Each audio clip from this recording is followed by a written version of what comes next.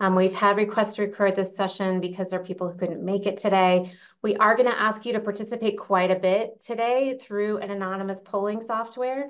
Um, so just so you're aware that the recording is happening, if you have questions for us because things come up during this session that are more personal in nature, we are going to keep this session open for another 30 minutes at the end. So if you'd like to stay and have a conversation, we will be turning the recording off at that time. Um, we'd like you to start by adding your name and unit to the chat so we get a sense of who's here today.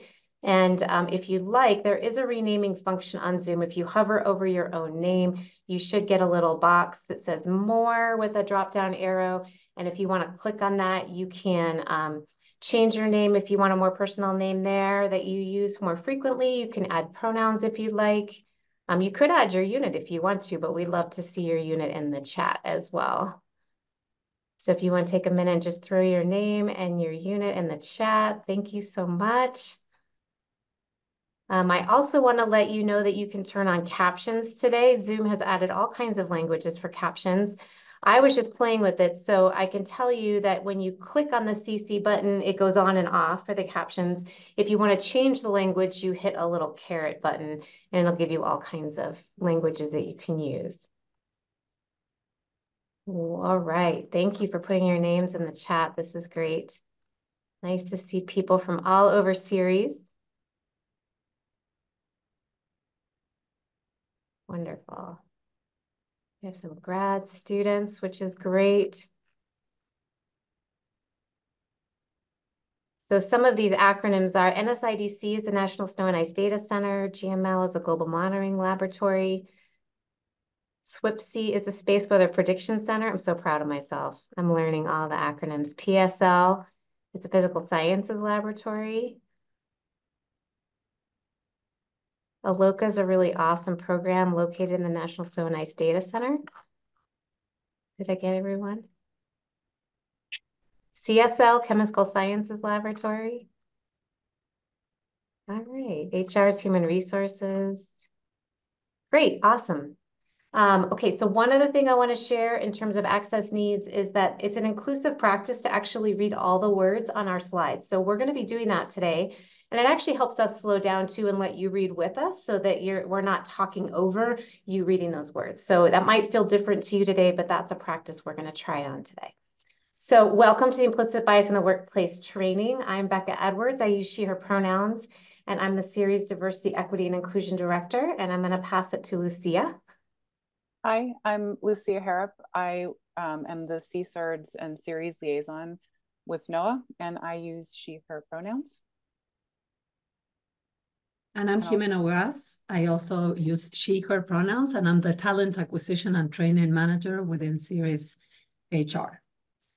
Awesome. So we, the three of us decided to combine and do this workshop together because we actually framed every thing we're going to do through three lenses. So one is through the lens of how bias shows up in hiring. One is the lens through how it shows up in supervisory evaluation. And one is how it shows up on teams. So each of us have a little expertise in one of those areas. And so we're going to um, be sort of switching off and giving you ideas on all three of those areas.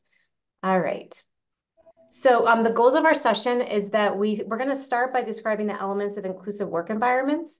And then we're going to work most of this time distinguishing between different types of implicit bias. It turns out that people engage more with the concept if we give really specific examples. And there's lots of types, but we're going to go through some types that are really common and then talk about how they show up in hiring processes, recommendation letters, performance evaluation, and team dynamics.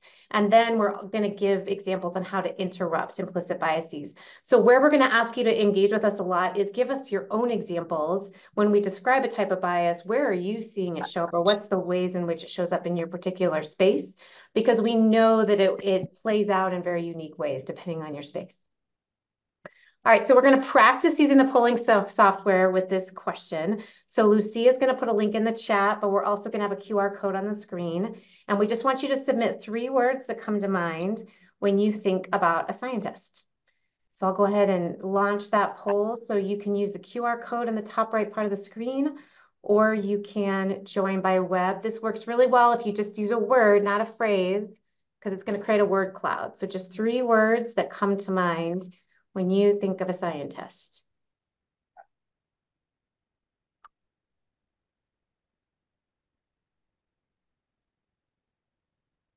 And once you add one word, it should let you add another, and it'll show you the words at the bottom that you've added. Oh, this is so fun. I love word cloud. Oh.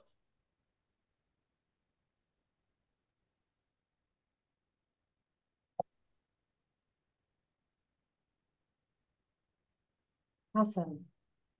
So how word clouds work is a word gets bigger the more times that it's inserted, if you haven't seen this before. So we're seeing intelligent and smart and curious and logical as the most common responses.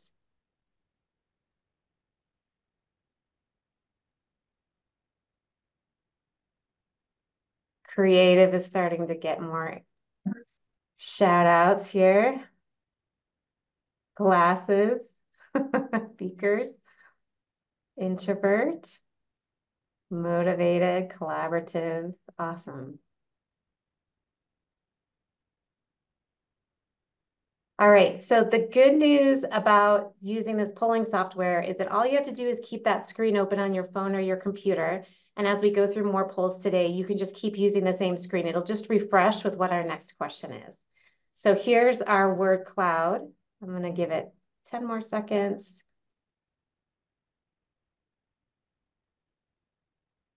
Awesome.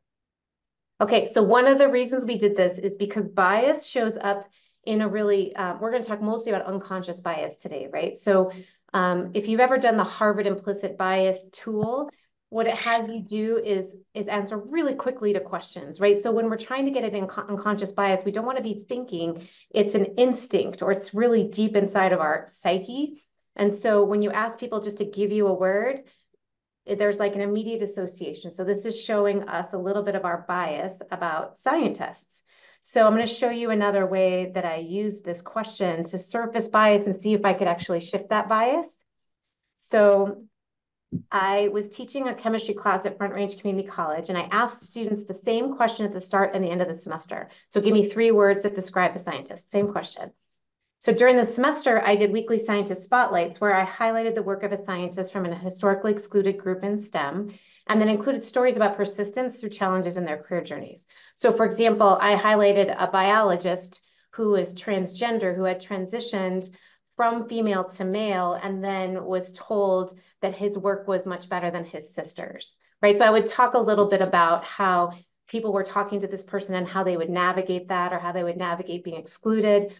And so you can see at the start of the semester, they had similar answers to you, intelligent, curious, right? But there, if you look at those words, there's a little bit more of either a negative connotation, like evil, nerdy. For them, nerdy was a negative connotation. Um, or much more sort of um, concrete, like sterile hypothesis, lab coat, thesis. And at the end of the semester, even though the same words, so it's a little hard to shift bias, right? And that's not necessarily a negative bias that scientists are intelligent and curious. That's good, right? But I saw a little bit more of them seeing scientists as human beings that they could relate to, like fun, passionate, dedicated, creative, cool, hardworking, that some of the words did change over time. And if I pulled out the specific words for a student, where they went from before and after, I could see a little more of a specific change because of my spotlights. So it's just a way to think about like, how do we start to interrupt bias and tell, start to tell new stories in our head about certain things? Because we can be really unconsciously moving through life with a story if we don't interrupt it. So to get into why we want to interrupt bias, we're going to engage with this next poll question. And this is a little bit more challenging. So what is the difference in your mind between an environment that's welcoming and an environment that's inclusive? What is the difference between an environment that's welcoming and an environment that is inclusive? You can think about any environment. It doesn't have to be a work environment. It could be a home environment when you go into somebody's home or when you um, Maybe you have a community that you participate in outside of work. This it should be more of a you're going to have a chance to enter a phrase this time. What's the difference between an environment that's welcoming and an environment that's inclusive?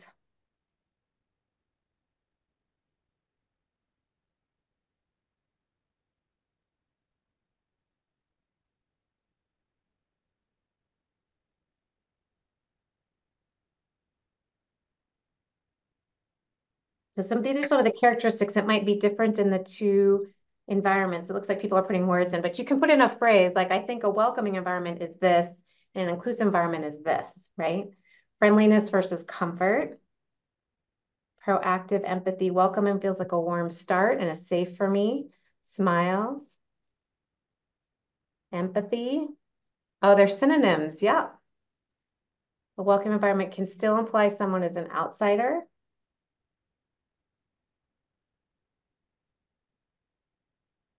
Equitable belongingness, might there might be some difference in belonging. Welcoming, open to all, inclusive, open to all with adaptations that make it easier to be welcomed. Interesting. Warm versus vibrant. Welcoming is surface level and at the beginning of a relationship. Inclusive is long-term and deeper. Intentional. Open discussion. Nice. Welcoming is an initial response. Inclusive is an ongoing response. That's a nice way to sort of talk about how they're synonyms, right? Inclusive means acknowledging differences. Awesome. Empathy. Acceptance of everyone. Social versus equity. I think this is the same idea, right? So there might be a surface social inclusion in a welcoming environment, Whereas when we get into equity, we're thinking more about how people have different needs and might be different things to feel included in that environment. Welcoming is friendly, inclusive environment draws you in to participate. Awesome. Okay. Friendly, inclusive means you do not have to change to fit in. Awesome. Oh, these are so great. Thank you so much for participating in this poll. An inclusive environment invites my contributions. Inclusiveness feels like they're trying to understand you and others and how you work. Awesome. So this is leading me to my next slide. So there's nothing wrong with a welcoming environment. It's just distinct. We're trying to make a distinction perhaps between welcoming and inclusive. And a lot of people are noting that welcoming is initial warmth, right? Like I'm welcoming you into my home. Come on in. This is my home. But inside my home, I might need you to be to to behave in my home the way that I feel comfortable, right? Inclusive is I'm thinking a little bit more about everybody's needs. How do I make sure everyone has an option um, to participate in that environment? So this is a quote from um, a person I follow on LinkedIn. An organization can be welcoming but non-inclusive. So welcoming culture emphasizes politeness and friendliness and how people present themselves to others an inclusive culture, on the other hand, is about intentionally creating an environment where any individual or identity group is respected, valued, and empowered while ensuring different perspectives are sought, acknowledged, and considered. So you can imagine how that's inclusive culture is a little harder to do if we haven't started to understand our biases. So if we're the person who leads a space and we have certain biases that are playing out and aren't being interrupted, we're more likely to be creating a welcoming culture that might um, mean that other people have to assimilate to be in that space. So we're going to work today on disrupting norms. So the status quo, how things have always been done, doesn't work for everyone. And many people don't thrive in our current model. We also want to question our assumptions, that we all make assumptions about others and that these assumptions can be detrimental and prevent us from digging deeper. This brings always in the idea of intent versus impact, right? So implicit bias, we're in the space where we're not meaning to not be inclusive, but we're wanting to surface that maybe we're not. Even though our intention is to include everybody, there might be something we're doing that's putting up a barrier to that, and we just need to question our assumptions in order to get there. Um, and then we can work on building relationships because when we have trusted relationships at work, everyone feels more comfortable sharing their process, asking questions, and discussing mistakes, which ultimately helps the team problem solving process. So we're working to create inclusive work environments at CIRES where any individual is respected, valued, and empowered, and different perspectives are sought, acknowledged, and considered. So in order to start questioning our norms and assumptions, we have to identify our own implicit biases about other people on our teams and in our organization. And just like in our first um, exercise on scientists, we all have biases, but the, the goal is not to say that I'm going to get, I'm going to be bias free someday. This is deep, deep in our genetic makeup that we have a biases that have been in place really for survival reasons. So to interrupt them, it takes work. It takes intentional work and it might be a little uncomfortable. Um, so just to define bias, it's an inclination or prejudice for or against one person or group. An implicit bias is the attitudes or stereotypes that affect our understandings, actions, and decisions in a subconscious manner. These biases are activated involuntarily and without an individual's awareness or intentional control. So they do develop over time. Sometimes it's something that we're a bit pulled to because of our family and our upbringing. And the, they've done a lot of studies that show that one or two year old children can actually show they have bias um, towards or against certain individuals. But then we also get direct and indirect messages from our environment that can reinforce biases or create new ones. Um, they establish parameters about what we are to think and feel. So when, when we're in a space, this bias does control our emotions. And so the more you're aware of it, the more you'll notice, oh, I just had a reaction to something. Let me pause and see what that reaction is about. So part of what you're going to hear from us a lot today is slow down and make sure that you're not tired or overwhelmed because that can cause these biases to, to um, play out. The, the good news is that they're malleable. We can definitely impact these biases by presencing them and thinking about them. So we do have the opportunity to start interrupting them. All right. I am going to talk just really briefly and before we get into the types of biases about factors that put us at risk. So when we're feeling emotional, such as anger, anxiety, fear, or disgust, that can um, activate our implicit bias. When we're tired, so it's not great to be reviewing candidate files in a hiring process when you're tired. You're more likely to, um, to be acting um, with your bias. If we're distracted, we're more likely to let our bias show up and if we're stressed out. So this is sort of an individual place. So part of what we're going to ask you when you're doing an important process, like working with your team, evaluating um, somebody you supervise, or working on a hiring committee, is that you slow down and make sure that you're in a good headspace or good place for that to happen. You might need to take a walk or take a break if you're doing one of these processes to make sure that you aren't letting this implicit bias seep into the process. Um, but there's also structural and societal reasons why we um, engage with bias. Sometimes we don't have clear policy or process for decisions. So if we're on a hiring committee using rubrics, people are so grateful when you give them a rubric. They say, oh, this is just really going to help me interrupt some of these things I don't want to be doing. So giving clear policies really helps. Um, again, lack of processes for feedback and reflection. Sometimes we just evaluate people from a gut feeling. This is how I, I'm feeling about them today, instead of thinking about over time. Can I think about the what they've um, what they've accomplished because I have a process for that feedback and reflection. Um, there can be social pressure that puts us at risk of, of implicit bias. Again, if we're in a sort of that environment where we're not feeling, where we're feeling we have to mask a lot. If you were in that neurodiversity seminar last week, if you're sort of putting on a mask and being a different kind of person in that environment, um, that actually might trigger your implicit bias, but other people because you're having to hold yourself in a certain way. And then you might feel frustrated about the way that other people are behaving. And then um, if we have lack of diversity in decision-making spaces, that's when we're most likely to make assumptions. So the research about homogenous groups when they're making decisions is that they're more likely to assume we're all on the same page and move forward instead of slowing down and making sure that we might have not have missed something. So if you don't have diversity in your space as you're working on that, you can still work on slowing down to make sure that you're taking bias out of the process. All right, I am gonna, we're gonna start going through the types of bias and we're gonna ask you to engage with our polls again. And I'm gonna pass it over to Jimena. Yes, thank you, Becca. Um, great, so the first uh, bias that we're gonna look into is expedience bias. Think uh, shortcut, think quick. Okay, expedience bias happens when we take mental shortcuts to confirm our own beliefs and ignore other evidence. This tilts us towards answers that seem obvious, often at the expense of answers that might be, that might be more relevant or useful. It guides our behavior based on the notion that it is what is most obvious, so it must be true. An example where expedience bias is at play. An employee starts coming to work later than others on the team and the supervisor assumes that they're not committed to the current project, even though they are completing their tasks on time. And you will see that in many of our biases, it, it is about filling in with your own narrative. And that's an example of it. Okay, next slide. Okay, so if you um, could use the link that Lucia just put on the chat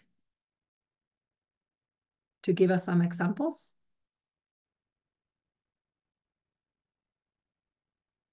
You can write phrases or sentences on this one.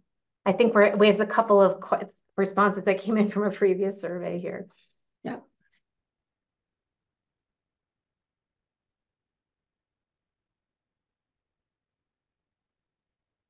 And Just also feel you, yeah, go ahead. No, I was gonna say, feel free to unmute if you don't want to write it, you know, if you just want to say it. That's, you know, if it's more effective for you. If you don't mind not doing it anonymous, anonymously, you can do that too.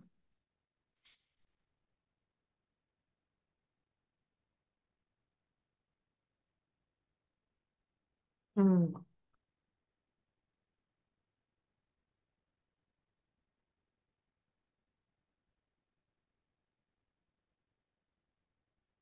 Mm-hmm. There's some gray ones here. Mm-hmm.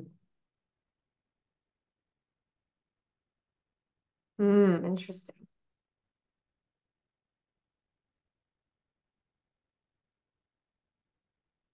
Hmm.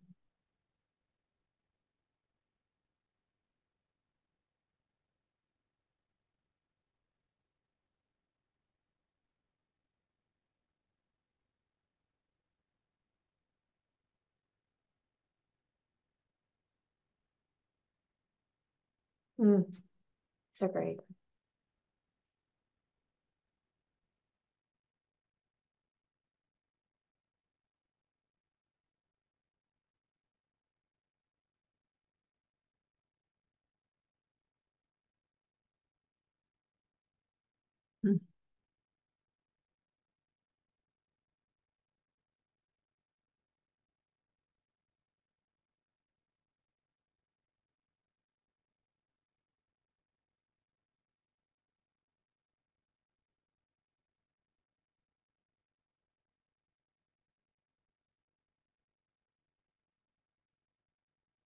Mm.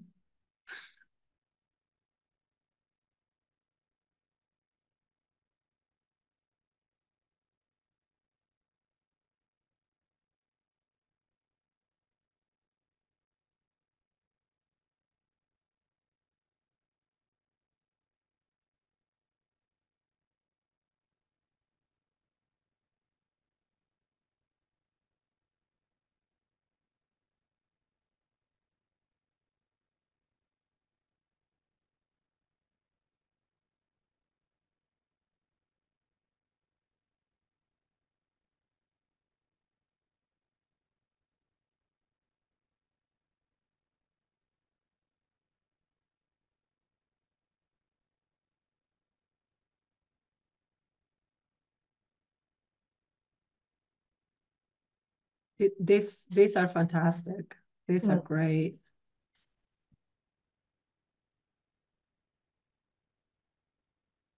Hmm. These are great. You ready to move to the next slide, Jimena? Yeah, let's do that since we have like five different types of bias that we wanted uh, to explore with you all. Um, Yeah, But, lots of great examples of shortcuts that people You- are making.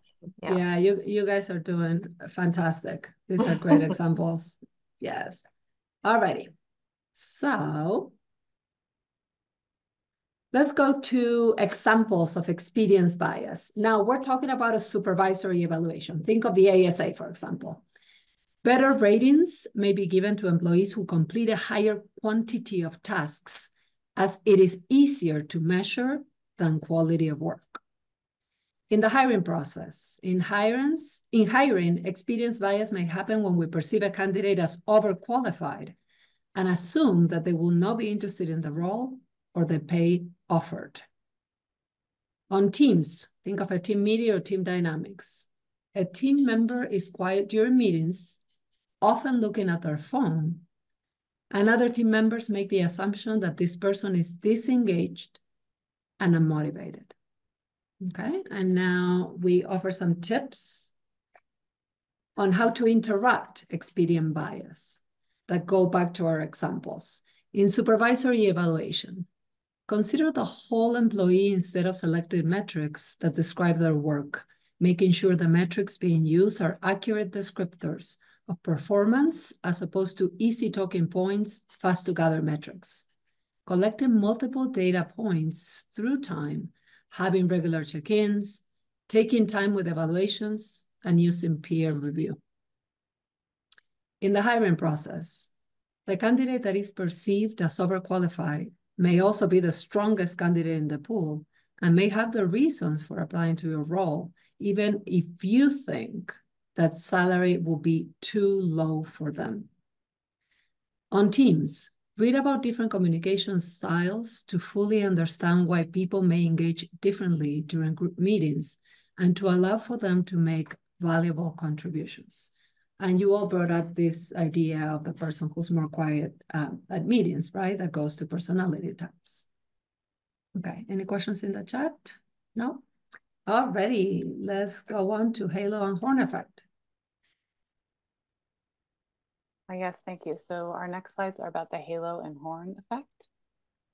The halo and horn effect is about making snap judgments based on a perceived positive or negative attribute.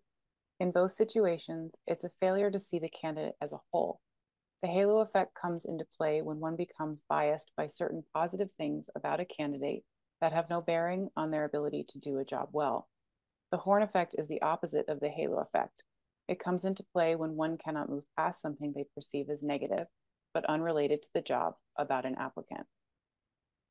An example of where halo and horn effect is at play a candidate has published extensively in a high impact journal in their field. As a result, hiring committees might overlook potential weaknesses in other areas of their application, such as teaching evaluations or interpersonal skills, assuming that their research prowess indicates overall excellence. And I'll go ahead and it's the same uh, poll link, so you can go ahead and visit there, but I'm putting it in the chat each time in case people are joining.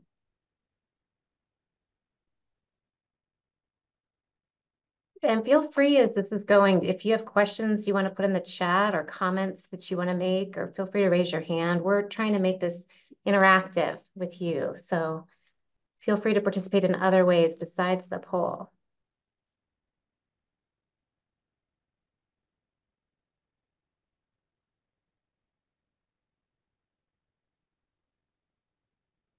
Mm.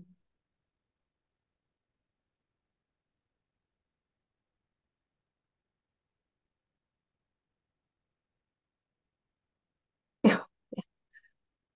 These are so good.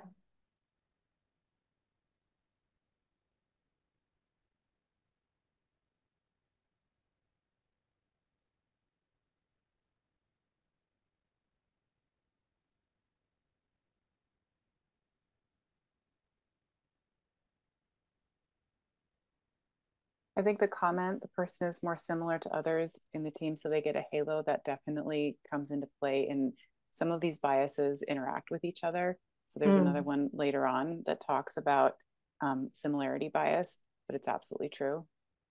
So you're making connections, you're jumping ahead. Good job.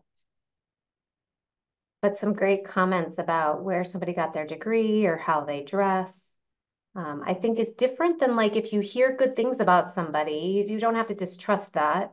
Um, I think we're trying to notice where we're having a gut feeling versus a feeling that's based on evidence, that's based on skill sets, that's based on something that person's told us. So try to pull those apart, right? What's your gut instinct versus, oh, I'm actually basing this thought and this feeling on something they've told me or something, uh, an actual performance or skill set. Um, Yes, snowballing upwards. We're going to use your examples for future training. They're so good.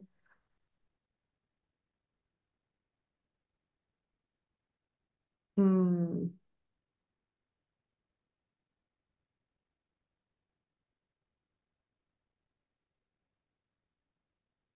Oh, that's such a good point. Sometimes the accent creates halo and sometimes it creates horn.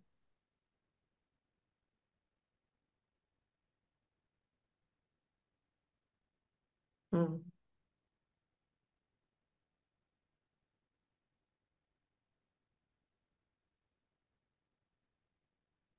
Mm.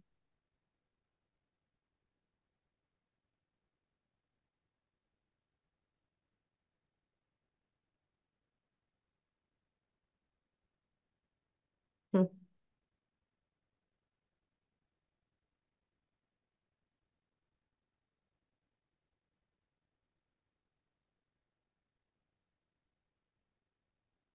Yeah, this is really highlighting social relationships in the workspace as well. I think it's just so important to start interrupting that the assumptions made because there are people that are not going to be have access to those relationships and they're just not going to have an equal chance to thrive in the work setting.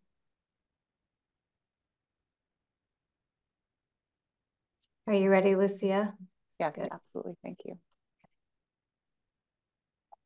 So here are some examples of halo and horn effect to add on to the ones that you already put in there so expertly. Um, in supervisory evaluation, supervisors will base an employee's ASA rating for the full year on a single positive achievement or difficulty instead of considering the whole period of performance. In hiring process, when reviewing a CV, we can identify a gap in employment for one of the candidates and fill in with our biases on why they were unemployed or why they left a certain organization. We may interpret these facts with a negative narrative without any context.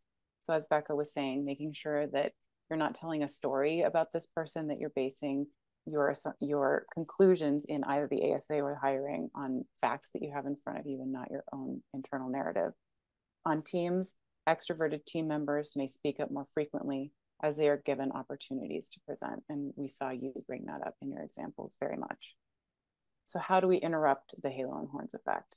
In supervisory evaluation, consider different parts of performance and include these in the review process. One major accomplishment or lacking skill should not disproportionately impact a rating. This, mean this means gathering multiple data points to consider the whole picture of performance. This is one of those places where we slow down we take the whole picture of performance into consideration and we have multiple check-ins throughout the year. Mm. In the hiring process, stick to the requirements and desired skills included in the job posting at any and all steps in the recruiting process. You should hold all discussions in alignment with these requirements. This might interrupt assumptions made without an employee about an employee's career path. So coming back to that rubric, on teams allow for all employees on a team to have growth opportunities instead of picking those who consistently perform well. Any questions about uh, Halo and Horns in the chat? No. No, I don't see any. right. So the next one is affect bias. Affect bias is a bias shortcut our brains take to make decisions quickly based on our current emotions. The problem, of course, is that these decisions often have absolutely nothing to do with whether a person has the right skill set for an employment opportunity. An example of situations where affect bias may show up. If you're having a particularly bad day, you may also have a bad feeling about a candidate, even if it has nothing to do with their qualifications for the job. Like I try not to review candidates on Monday morning at 8 a.m. okay, so uh, in the next slide, we would ask you to please um, give us some examples of that relationship between your emotions and actions that you may take.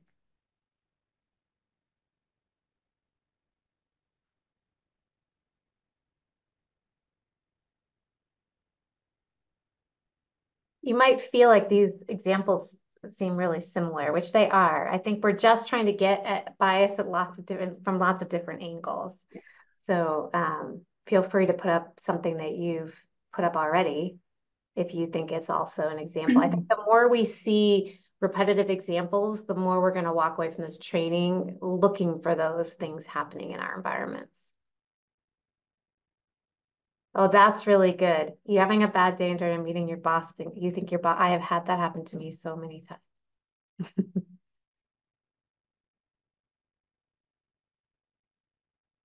mm-hmm.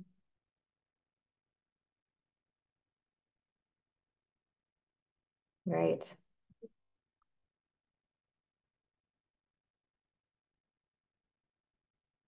Mm. It goes both ways, right? You're in a good mood.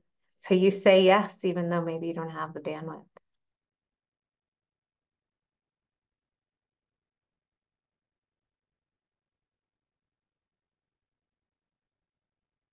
Hmm.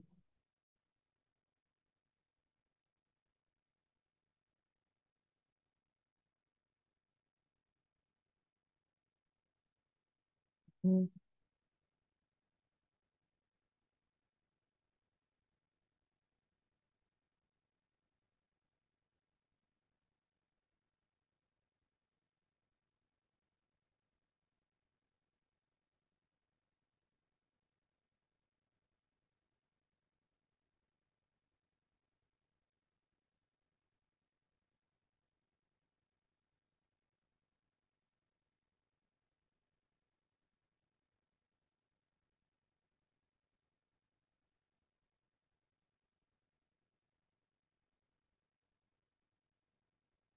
Hmm.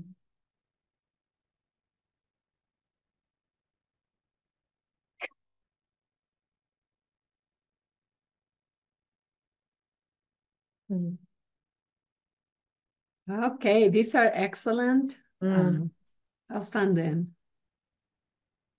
Thank you so much for your participation. It really makes a difference. Um, and again, in the interest of, of time, not because these are not interesting, they're awesome, uh, but we're gonna move along. And we're gonna um, give you some other examples in the specific scenarios or situations we've been exploring. So in supervisory evaluation, how to interrupt affect bias. Block time on your calendar during a time of day when you're alert and able to focus without interruption. Workplace differences are bound to occur. If they happen around evaluation time, this is especially challenging for supervisors. Try to give any emotional events space and time to settle before making evaluations for employees. If you need support to stay objective, consider mediation, FSAP or FSAP, or other resources. Hmm. In the hiring process, take time with a friend or colleague to process your frustration. Remember, we're talking about that other situation which affected your mood. Go for a walk before the hiring committee meetings to clear your head and be present during the meeting. Be ready to evaluate candidates based on duties to be performed and requirements announced. On Teams, if you have seen anything upsetting during a meeting, take time to talk with other employees about that occurrence. Engage with the feedback training to make sure that you have the skills to navigate th these discussions. Crucial conversations of or Clifton strength can be particularly helpful. And always, uh, please feel free to come to Lucia or I when it comes to training. We're very familiar with everything that CU um, Central HR offers. And we have one of our trainers that actually tailors her trainings to the needs of you and your team. So you can always call her in to lead a training for your team. Okay. Any other questions? Okay, let's continue. And just to, to clarify, we're going to capture all of your ideas and we will attach them to the slides. We'll have an, it might be a separate PDF document, but we will include all of your ideas as part of the posted slides. All right. Thank you. And Uh, yes, Gabby, one, one question in the chat. Um, yes, I am developing a feedback training that will be offered sort of in a quarterly way. Um, so that is coming up. Excellent question. Thank you. Similarity bias is our next one. Similarity bias or affinity bias is the tendency to favor one candidate over another candidate because you share a characteristic trait or past experience with this candidate. The more similarities you share, the more you will gravitate towards this candidate. This could be the same cultural background, interests, or even having attended the same high school or college. An example of where similarity bias is at play an employee from a similar background or has similar social identities as the supervisor gets more public acknowledgement and perhaps private encouragement from the supervisor. So here we'll do the same as before. Please give examples where you have seen similarity bias in workplace.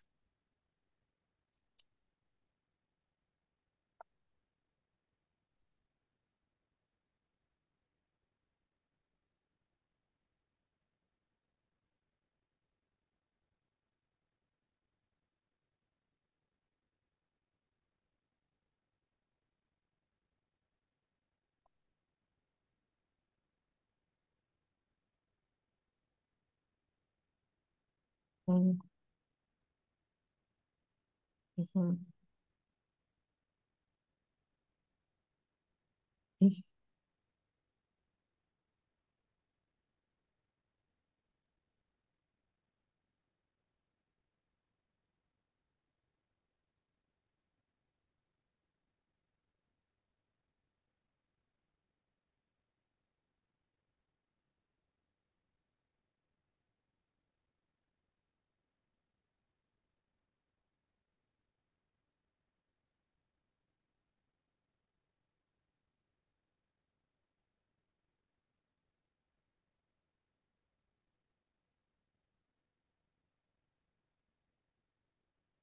Mm. That comment, I think it is a natural human trait to find similarities in your colleagues. This is how we make friendships and good working relationships. That's absolutely true. I think that the place where this training uh, is going is how do you make sure that those interpersonal relationships aren't disproportionately impacting hiring, evaluations, or your interactions with your team as we have a responsibility to to interrupt that and make sure that sure we can obviously be friends and we're going to gravitate towards people who we're more similar with but making sure that that doesn't Im- impact our professional relationships disproportionately and becca you can Yeah, no, that add was, to that if you want no, that's great. certainly no suggestion that you know you should interrupt making those friendships at all just making Yeah. sure that they, that they have a they hold a place in in there and they're not you're not bumping someone out of a candidate pool um, because you went to the same school or things like that Yeah, we're just trying to interrupt some of those gut feelings we have. So I think it's really, really normal, right, to relate to people with similar hobbies and backgrounds and be attracted to those people. And there's nothing wrong with that. I think we're just trying to make sure that when you're in a work environment, you don't have to be friends with people on your team, right? But how are you treating them? How are you interacting with them if they are different than you? What are the ways in which you interrupt any gut feelings you have? Or the same thing with the hiring process right? Somebody, I was just in a hiring process where a CV looked really different than than the other ones, and we had to stop for a minute and make sure we weren't penalizing that candidate for having a different framework on their CV than we'd seen before, and see if we could still look for those skill sets, right? But we all noticed and immediately like, oh, I'm so confused and a little bit of irritation, right? Because we were reviewing so many candidates that day. So it's just just checking those things out. You know, doesn't mean you're not not you need to interrupt your attraction towards others. Um, that do feel similar to you. Tricky. yeah, Yeah. absolutely challenging All right, are you ready? yes Hmm. so here are some I'm gonna, further can we move examples. into interrupting just so? oh for- yes absolutely we had a ton Yeah, wait, of so many good examples. examples. Yeah. Thank you so much, everyone. And again, these will be captured in the um, in the follow-up materials to this Mhm. training, so you can read through them for sure. Um, but how to interrupt, very important. In supervisory evaluation, use objective criteria that is consistent between all employees in a group. If you use peer review, be sure to do this for everyone on your team. Be consistent in your interaction frequency and content with all members of your team. Present development opportunities to all employees. Make an effort to reach out and check in with employees with different schedules, hobbies, or research topics from your own. If you have divergent communication styles, taking Clifton Strengths training can help you understand how different communication styles can work together effectively. In hiring process, when hiring, please use a rubric in which you rate candidates based on required education, experience, knowledge, skills, abilities, and desired qualifications as stated in the job advertisement. On teams, take time to understand social identities other than your own. Read books, listen to podcasts, join DEI events. Use group norms to address how to communicate and treat each other during and between meetings. Make sure to include all voices in the creation of these norms and ask everyone to help guide the group towards adhering to the norms. Any questions about anything on that slide? Okay. Alrighty, and we're gonna go to the last bias we're covering today, which is primacy and recency. And you may get a little bit confused with halo and horn. It is a, a similar idea, but primacy and recency deal with timeline. You see something at the beginning, you're not able to um, focus on anything that happened afterwards. And recency, you see something at the end that kind of like makes you forget everything that the person did before. Primacy bias takes place when you focus only on what happened first, ignoring all other aspects of a situation.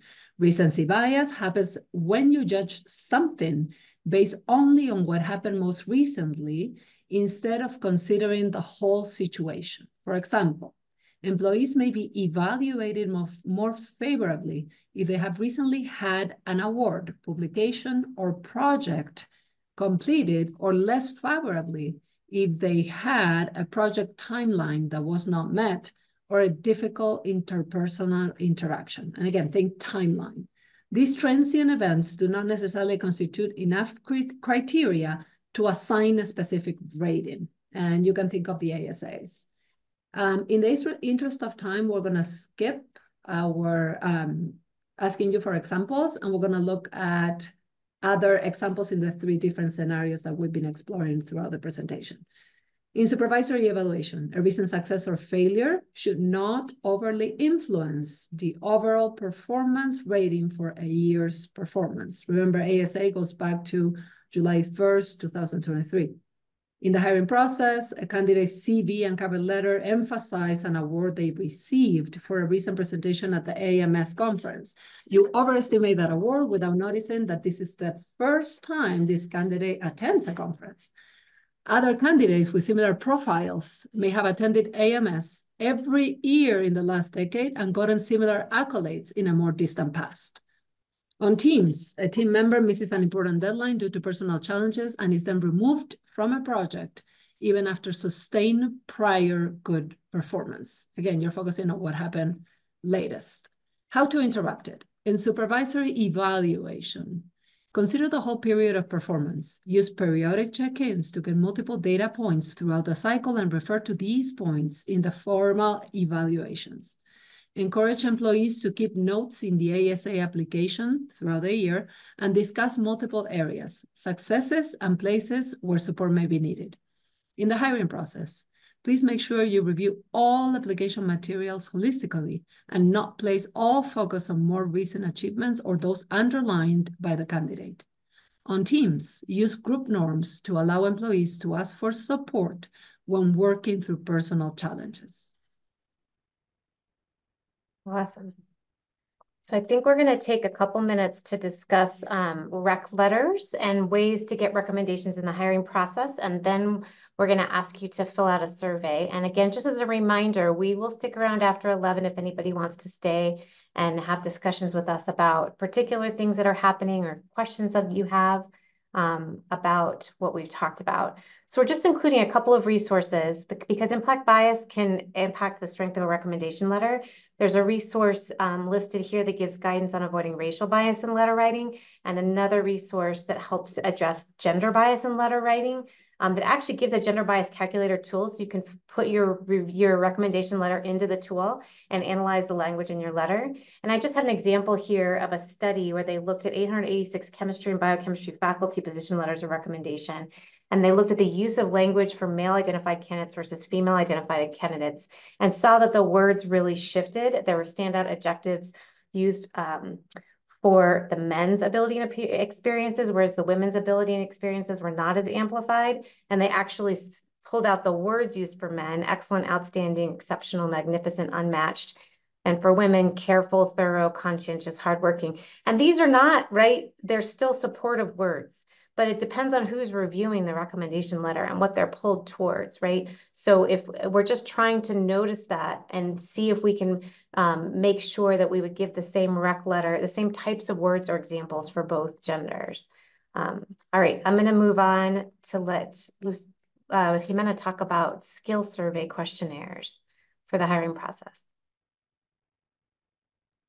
Right. So if you worked um, in a hiring committee with me, um, you know that I am a big fan of skill surveys. Maybe about 10 to 20% of our hiring committees use letters of recommendation. Everybody else has moved to skill survey. If it doesn't work for you or for your team, I understand. So let me tell you a little bit about how this work. Skill survey is an online reference check filled by professional references.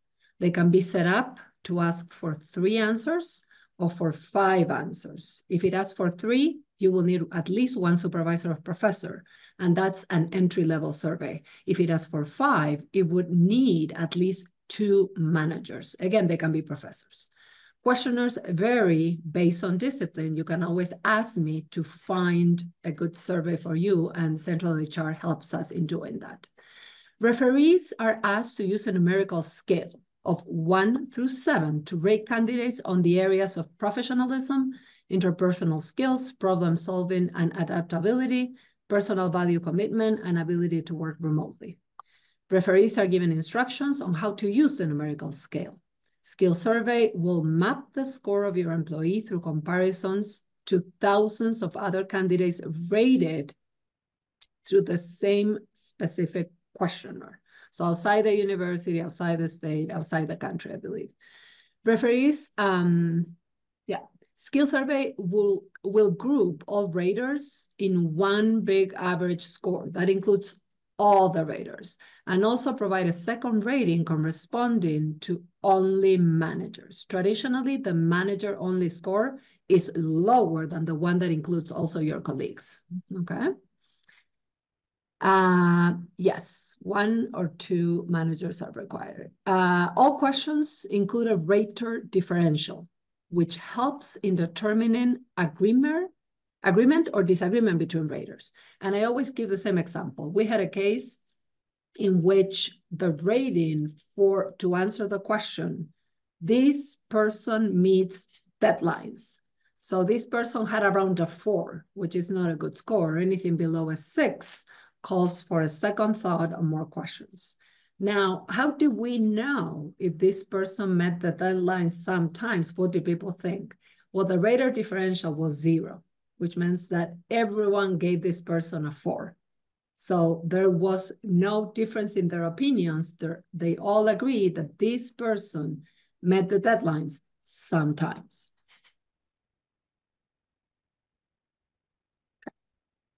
And next, yeah.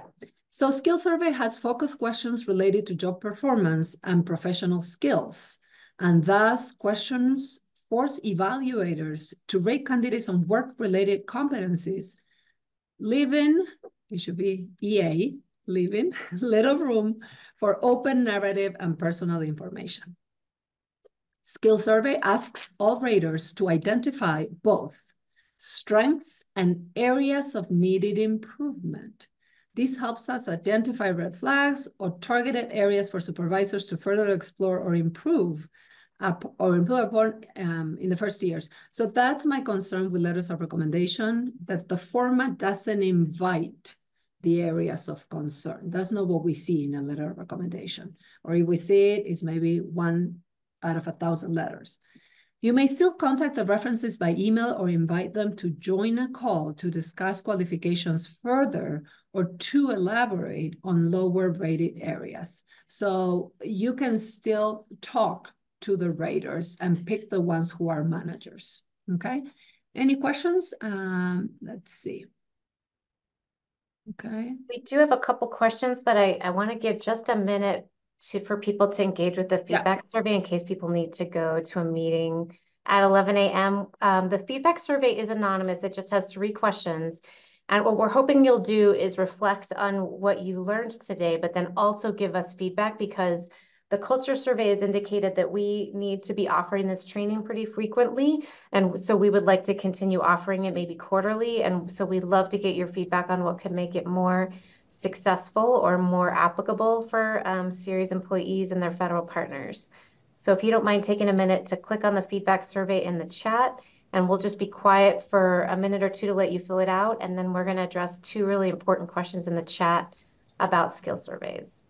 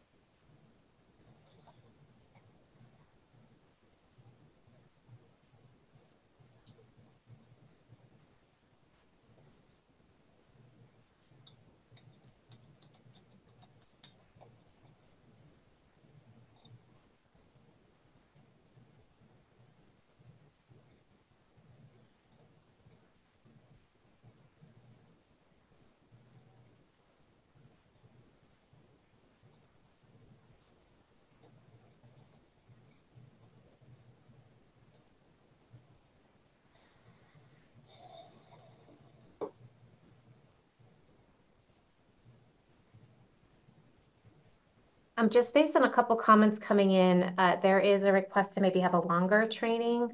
Um, I think we're trying to navigate um, people's time, but that is a good comment. And perhaps we need to engage some bystander training um, as part of this because I think there's this feeling that like, oh, we can sit and talk about this, but then let's really get real about uh, what it means to engage with it in real time. And I think that was great feedback.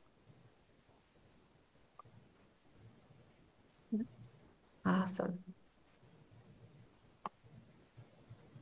All right, so Jimena, do you want to answer? We have some um, Yes. Yes. some links in the chat. Just the link that's there for the newsletter is the DEI newsletter if you'd like to sign up for that.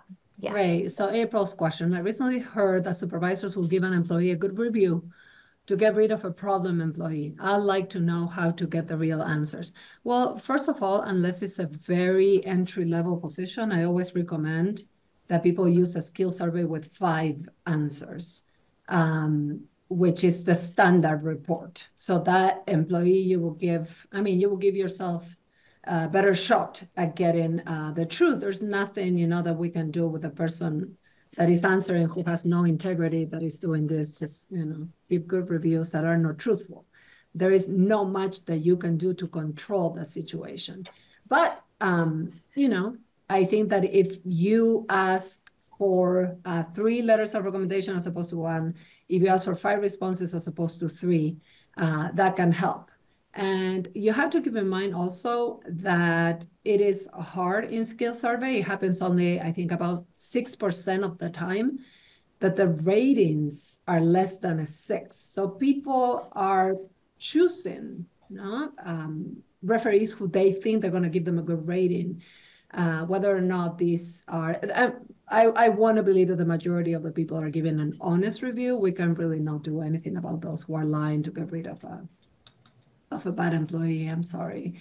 And then Mark, um, can you unmute yourself and talk a little bit about what you mean, uh, starting, meaning like going over more obstacles? Is that what you mean? Yeah, like like for example, I, I'm I'm writing reference letters now for a, a, a, colleague from Ethiopia who's been through a lot in the last five years. And if you compare him just on surveys, uh, just on his skills compared to other people his age in the United States, he's not gonna he's not gonna match up. But there are extenuating circumstances here. He's yeah, yeah, you know, he's he he shows a lot of promise and and it's not the full story of how good he is at Python programming. Yeah, so my question to you would be, um, can you use the rubric to determine if the, this person can do the job and if they can do the job well? So hopefully the skill survey is only one part of a bigger equation. Hopefully you had a screening call or higher view, you had a long interview, meaning 45 minutes to an hour, you had team discussions, and potential is a really good uh, quality. And for example, when we look for software development positions, a common question for me is, do you really need a bachelor's degree? Not everyone has the money to go to college. Do you really need that, right? Or is a person who has the experience as a software development, you know, as good, the same as someone who was, you know, um, able to go to college and, and afford that, which is not true for everyone. So I think you have to stay true to what you um, said you needed when you um, when you wrote the job description.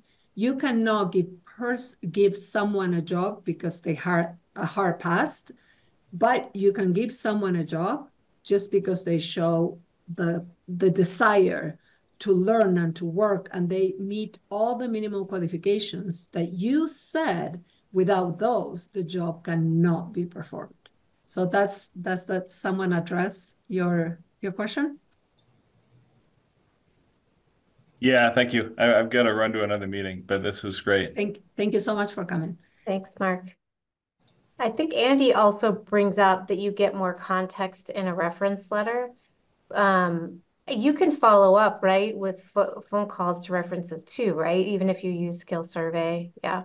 Do people do that? So you can do phone calls and talk to people. In my experience, and this is also the the uh, recommendation or the statement from the Director of Talent Acquisition at CU, Andy Horowitz.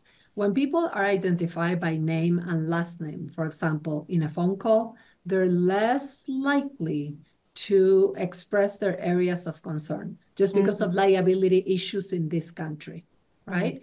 So SkillSurvey being anonymous, um, it is, I think there is a bigger chance that you will get the candid answers. Um, our theory is that once you call the person on the phone, the person who rated fours throughout is less likely to tell you with their name and last name, I will be, you know, concerned. I would recommend against you hiring because they agreed to do a recommendation. And so it's different. Anonymous feedback is is um, I guess it gives people a lot more courage that then they don't have to answer on the phone once they're identified by by name and, and phone number. But I think I'm getting away from the question.